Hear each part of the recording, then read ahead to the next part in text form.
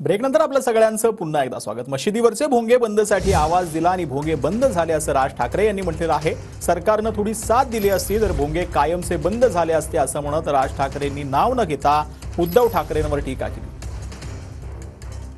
ज्यावेळेला आवाज दिला की ह्या सगळ्या महाराष्ट्रामधल्या मशिदींवरचे भोंगे खाली उतरवले गेले पाहिजेत आवाज बंद झाला पाहिजे बंद झाला. जर सरकारने थोडी जर समजा साथ दिली असती ना कायमचे बंद झाले असते.